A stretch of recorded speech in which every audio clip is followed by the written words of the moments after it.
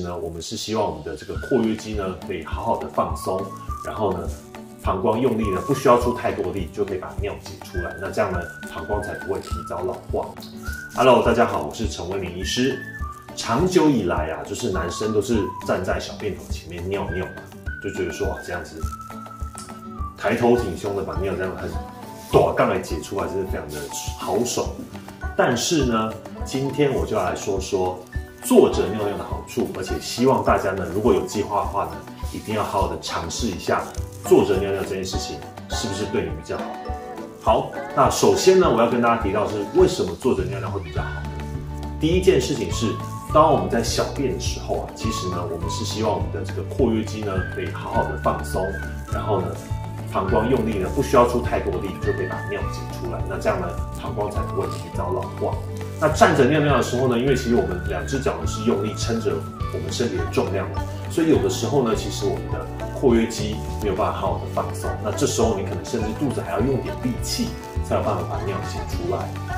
可是坐着的时候呢，你可以完全的让你的下肢放松，那你的括约肌呢也可以得到一个更好的放松，那膀胱呢就可以不需要这么大的力量把。尿解出来，甚至有时候呢，我甚至会建议病人哦，就是除了只是坐在马桶上面之外呢，有的时候呢，脚上还要垫一个差不多这么高的一个小凳子，让你的脚的膝盖可以稍微高一点，这样呢，可以让你的这个呃括约肌呢可以放松的更好，那小便呢可以解得更好，那有助于啊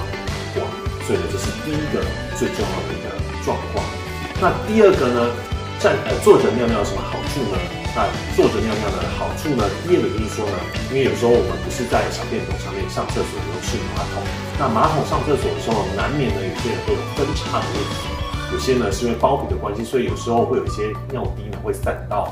旁边去。那久而久之呢，可能就会让你家的马桶呢可能就有一些异味产生了。那坐着尿尿呢，完全都不用烦恼这样的问题。所以这是我觉得第二个好处。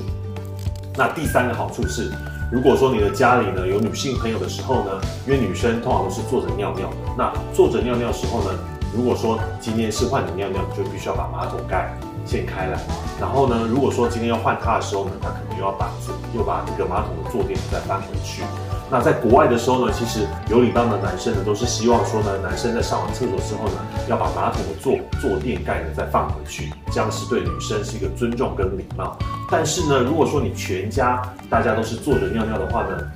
就没有这个问题啦，对不对？你根根本不用担心今天你的老婆或女朋友会骂你说你怎么又忘记把马桶盖放下来了？那是不是有呃，就是对女性呢又可以做到呃尊重又礼貌？然后呢，你有异味，然后你又可以挤得更好，对你的射线、对你的膀胱都有更好的一些呃，就是帮助哦。所以呢，如果说呢，你长久以来都是站着尿尿的话呢，或许你不妨可以试个几次看看，坐着尿尿，说不定呢可以有意外的收获哦。好，我是陈文明医师，今天呢就很简单的跟大家介绍一下坐着尿尿的好处，我们下次见。